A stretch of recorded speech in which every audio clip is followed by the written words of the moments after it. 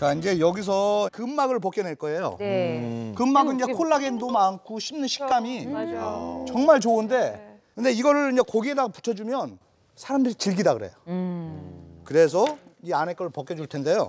어떻게 벗겨내지? 아 이렇게 아, 어, 칼, 칼집을 내주네. 이렇게. 어. 어. 진짜 소리 많이 나는구나. 아. 이게 또 순서가 있구나. 차례가 있네, 차례. 야, 이렇게 다. 쫙 벌어지죠 이렇게. 네. 야. 어머. 야, 알아서 벌어지네. 이걸 양쪽으로 다 해주는 거예요. 아, 그래서 쪼그라드는구나. 자, 사이에. 둘, 셋, 넷.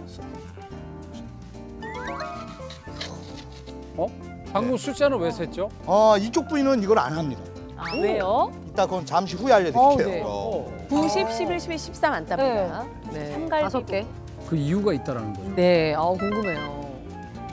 자, 이제 이거는 버리는 게 아니에요. 이건 버리지 마시고요. 네. 나중에 탕 끓일 때 같이 넣으면 그럼요. 요거는 아주 조금이나 맛있어요. 먹을 수가 있어요. 네. 아, 이거 탕용. 자, 여기까지 이제 손질이 됐습니다. 네. 어. 근데 여기에서 잘 보세요. 네. 자, 보세요. 여기가 갈비 1번이에요. 네. 어, 작은 게 1번이에요. 그러니까 네. 작은 게 소 머리 위쪽에 있다고 하는 거 생각하시면 돼요. 예, 머리. 아, 여기, 여기. 그러니까 이게 위쪽에 아, 붙어 있는 거예요. 이렇게. 네. 자, 그래서 하나, 둘, 셋, 넷, 다섯. 다섯 개. 다섯 개에서 여기서 이제 떼주시면 되는 겁니다. 아, 그걸 네. 떼는구나. 어, 거기서 떼요? 다섯 번째에서. 네? 야. 어우 깨끗하게 잘. 어우, 썰었어요. 야. 나왔죠? 그 다음에 여기서 이제 세 개를 떼어내는 거예요. 네. 개. 다섯 개니까 이거 6번이 되겠죠? 네. 6, 7, 8. 팔. 여기서 다시 네.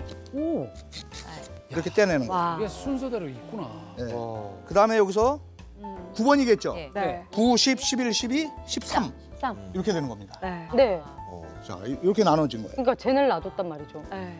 정말 완벽 해체됐다. 갈비뼈가. 와. 와.